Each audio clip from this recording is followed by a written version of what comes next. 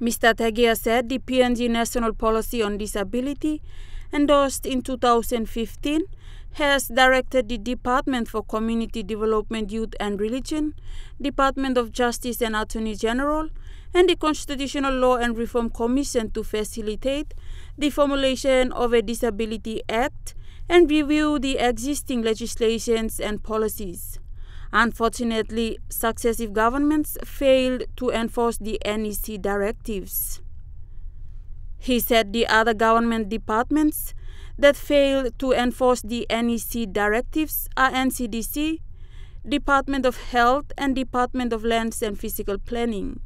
If our voices are in there and if we are able to contribute, you could see some changes underway the physical environment, maybe for the start.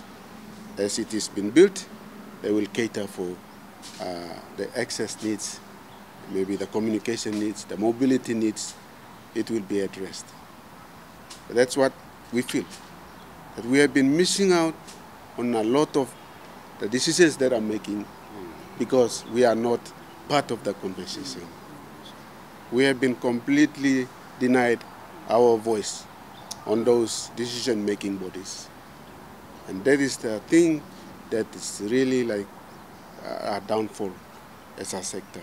He said people with impairments are not given the opportunity to participate in forums in almost all sectors.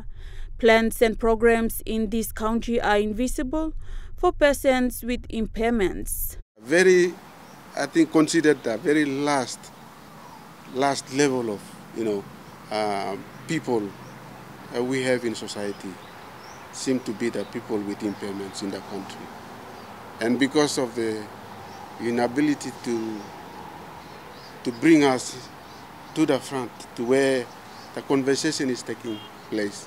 And if we are not participating, if we are not contributing, nothing will never happen and we will be left like, like this forever. And that's the experience. In line with the PNG government's development agenda and focus of Leave No One Behind, the NCD DAA will be having a media conference tomorrow on disability rights with the main aim of raising concerns, needs, and challenges of the disability sector in PNG, where representatives from responsible government departments are invited to attend and give their views and recommendations. Esther Gane, National EMTV News.